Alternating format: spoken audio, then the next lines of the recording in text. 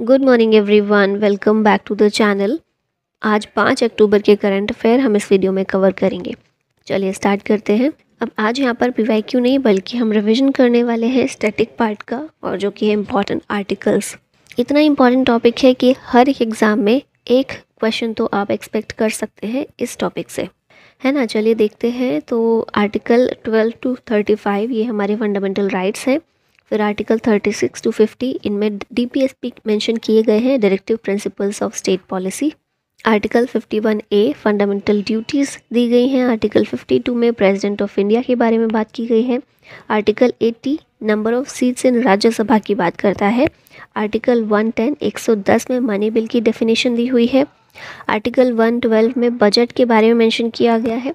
पर एक चीज़ याद रखिए, यहाँ पर बजट शब्द संविधान में कहीं नहीं है। एनुअल फाइनेंशियल स्टेटमेंट बजट को बोला गया है। ठीक है?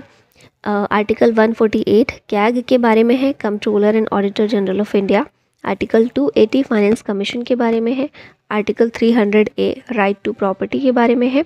और article 324 election commission of India के बारे में बात करता है। अब आ जाते हैं आज के क्वेश्चंस पर। When is World Teachers Day celebrated every year World Teachers Day celebrate होता है आज ही के दिन पाँच अक्टूबर को। 1994 से इसे ऑब्ज़र्व करते आ रहे हैं। यूनेस्को के द्वारा मेनली इसको किया जाता है सेलिब्रेट। और नेशनल टीचर्स डे पाँच सितंबर को लास्ट मंथ की पाँच तारीख को हुआ था सेलिब्रेट। ठीक है?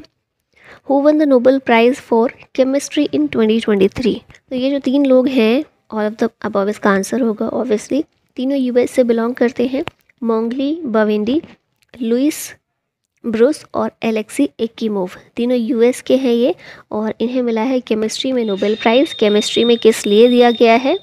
For the discovery and synthesis of quantum dots ठीक है? 2022 की केमिस्ट्री की बात करें तो ये मिला था के Barry Sharpless, Carolyn R Bertozzi और मॉर्टन मेल्डल को।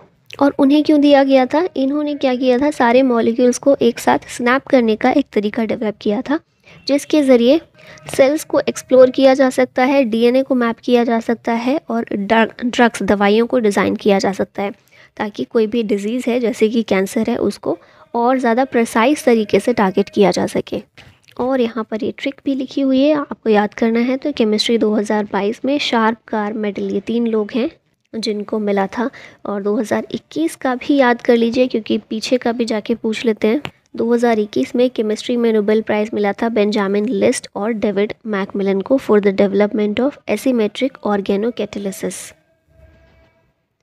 यहाँ देख लेते हैं फिर से कुछ चीज़ें नोबेल प्राइज़ की basic. Nobel prize most prestigious award दुनिया का माना जाता है। छः फील्ड्स में दिया जाता है, physics, chemistry, medicine, literature, economics और पीस। स्टार्ट हुए थे 1901 में। इकोनॉमिक्स का बाद में ऐड किया गया। इकोनॉमिक्स का 1968 से देना शुरू किया गया है। लेकिन इकोनॉमिक्स का अवार्ड भी सिलेक्ट किसके द्वारा किया जाता है? Royal Swedish Academy of Sciences के द्वारा। ठीक है? इकोनॉमिक्स का 1969 में पहला अवार्ड दिया गया था। नोबेल पीस प्राइज़ के अलावा सारे प्राइज़ दिए जाते हैं स्वीडिश इंस्टीट्यूशन के द्वारा और पीस प्राइज़ दिया जाता है नॉर्वे में, नॉर्वेजियन इंस्टीट्यूशंस के द्वारा। नेक्स्ट क्वेश्चन है which team won the Iranian cup 2023-24 Iranian cup cup rest of India के द्वारा जीता गया है और सौराष्ट्र इसमें रनर अप रहा है। सौराष्ट्र को हराकर रेस्ट ऑफ़ इंडिया ने ईरानी कप जीता और ये फाइनल मैच राजकोट में देखने को मिला। Who has been named by ICC as the global ambassador for ODI World Cup 2023 तो पिक्चर में देख रहे हैं, सचिन तेंदुलकर इसका आंसर है। Men's cricket World Cup Bharat में हम देखें तो शाहरुख खान को हमने देखा था आईसीसी वर्ल्ड कप का ब्रांड एम्बेसडर शाहरुख खान को अपॉइंट किया गया था। अब आईसीसी के द्वारा ग्लोबल एम्बेसडर अपॉइंट किए गए हैं इस वर्ल्ड कप के सचिन तेंदुलकर। और सचिन तेंदुलकर पहले स्पोर्ट्स पर्सन हैं जिन्हें भारत रत्न मिल, मिला है। 2014 में इन्हें भारत रत्न से सम्मानित किया गया था। यहाँ पर ब्रांड एम्बेसडर कर लेते हैं रिवाइज तो राफेल नडाल और ईगस वाइतेक दोनों को इन्फोसिस का ब्रांड एम्बेसडर बनाया गया है।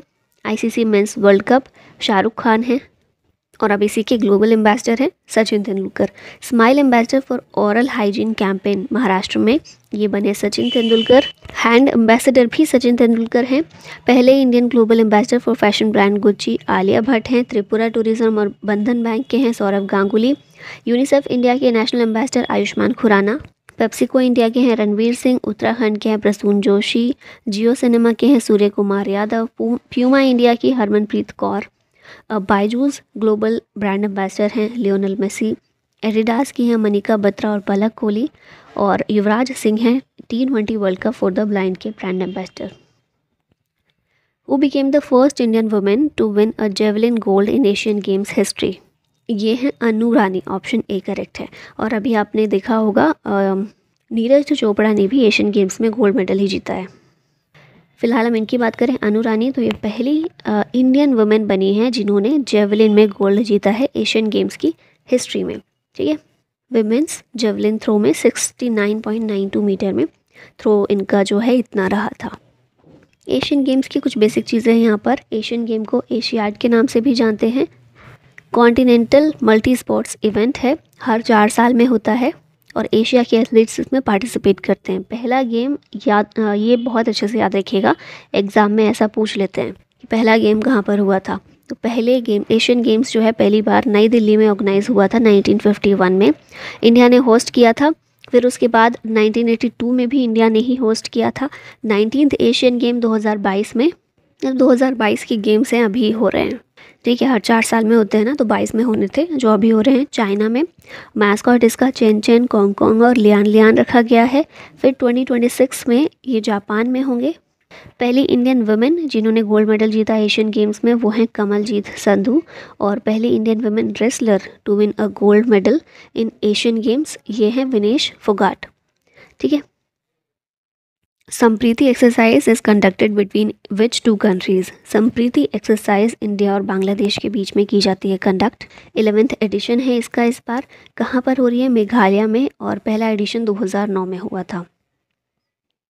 यहाँ कर लेते हैं कुछ मिलिट्री एक्सरसाइजेस को रिवाइज एक्सरसाइज साइक्लोन इंडिया और इजिप्ट के बीच. Agni warrior India Singapore Garuda Shakti India Indonesia exercise Kazind India और कजाकिस्तान हरिमऊ शक्ति इंडिया और Malaysia Yudh Abhyas India USA Surya Kiran India, Nepal Austra Hind India, Australia Dharma guardian India, Japan और Sampriti India और Bangladesh.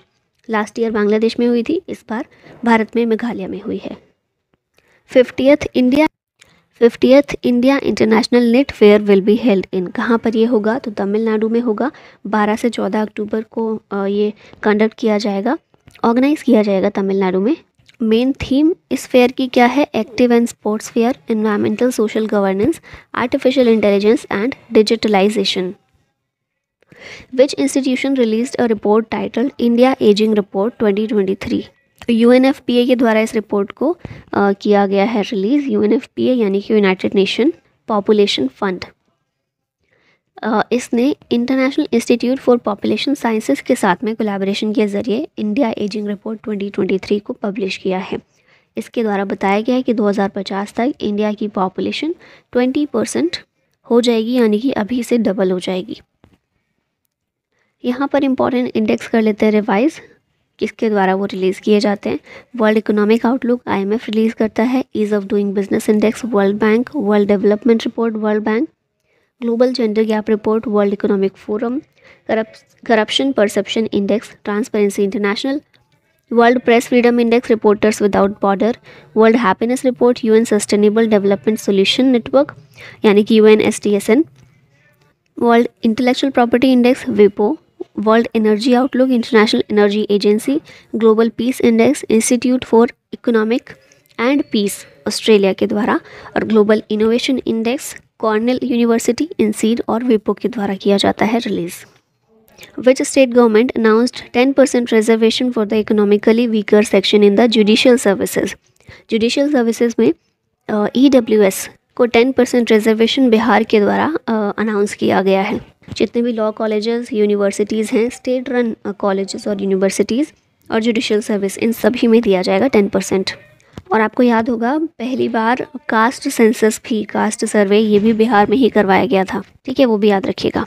Scientist have recently discovered a new fish species from the Milak river in which state तो ये नागालैंड से discover की गई है, और ये रिवर भी याद रखिएगा, कहाँ पर है? मिलाक रिवर नागालैंड में है। इस स्पीशीज़ को नाम दिया गया है बैटिस लिमाकुमी लिमाकुम के नाम पर इस फ़िश को नाम दिया गया है। ये असिस्टेंट प्रोफेसर और हेड हैं zoological department at Fazl Ali college Nagaland इन्हीं के नाम पर ये नई स्पीशीज़ जो खोजी गई है, इसको नाम दिया गया है। ठीक है? अब लास्ट में एक क्वेश्चन है, जिसका आंसर करना है आप लोगों को। Which team which team won the SAFF under 19 championship 2023 Nepal, India, Sri Lanka या फिर बांग्लादेश? आंसर बताना है कमेंट बॉक्स में और इसी के साथ फाइनली वीडियो का होता है and thank you so much for watching Jai Hind.